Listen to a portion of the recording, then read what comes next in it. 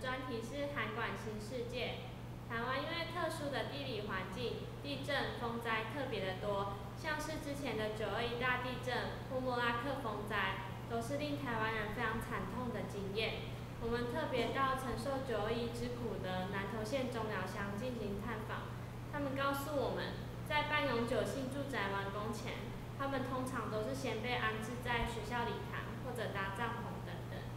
那我们就想，些灾民已经失去家园了，还要像是集中营一样被集合在一起，一点隐私都没有，而且灾后人心惶惶，治安呢是一个非常大的问题。所以我们才想说，以家庭的模式来经营，会有更有安全性。而且韩馆还有优点就是它生产很快速，因为这些韩馆早就生产好了，放在工厂，当灾害发生的时候，就可以立即装上家具，送至指定处来使用，前后不超过五天。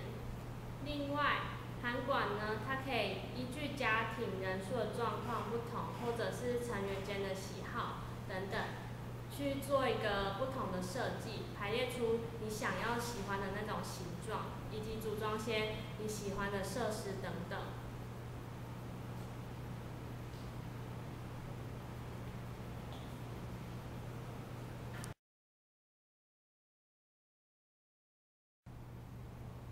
这是室内模型，我们在两边的上下装百叶窗，让空气流通。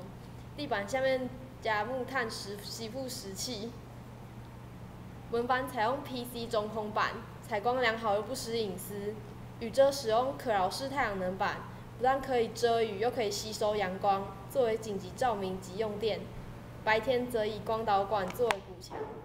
我们的高是两百四十公分。扣掉地板高度是两百二十五公分，长度是三百公分。